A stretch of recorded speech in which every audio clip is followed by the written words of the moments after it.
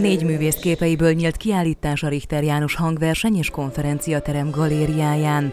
A Szívvel lélekkel című kiállítást Szűk Norbert festőművész álmodta meg, és hívta barátait közös tárlatra. Az a cím a kiállításnak, hogy szívvel lélekkel olyan barátok állítanak ki, akikbe úgy érzem, hogy tényleg szívvel lélekkel úgymond a pályafutásokat igazgatják, tehát viszik előre, és példaképeim is. Úgymond dr. Dézsi Csaba András, aki régóta barátom, Beölti Hajnalka, aki, aki szintén régóta barátom, egy festőművésznő, illetve a feleségem Dezséri Szűk Dorottya, aki a fotóival állított ki, illetve én. Tehát ez egy ilyen baráti társaság, nagyon szívesen álltak ki mindig barátokkal. A megnyitón az érdeklődők zenés produkciót és szavalást is hallhattak, amellett, hogy a művészek élettörténetével is megismerkedhettek. A csodálatos alkotások pedig mindenki tetszését elnyerték. A kiállítók között volt professzor dr. Dézsi Csaba András is, a Petszaladár megyei oktatókórház kardiológiai osztályának osztályvezető főorvosa, aki kikapcsolódásként alkot nagy sikerrel. Szűk Norbert barátom hívott meg erre a kiállításra. Hat képet hoztam magammal, két olajfestményt és négy frezettót. A frezettó ez egy ilyen képből kidomborodó technikával készülő kép.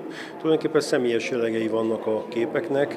A fogorvos című képemben a fogorvos a saját fogamat tartja a fogójában, amit még korább, pár nappal korábban húztak ki, amikor a képet utána elkészítettem. A professzor egyébként az egyik képéhez még saját vérét is használta, az Ásatás című alkotásában pedig egy valódi defibrillátor pacemaker is helyet kapott. A kiállítók közül személyesen is tiszteletét tette be őt élő hajnalka, aki elmondása szerint a tanulóira a legbüszkébb, többek között a professzor úr is a művésznő diákja volt. A technikáim közül talán a levédett szabadalom az, ami talán érdeklődésre figyelmet ad.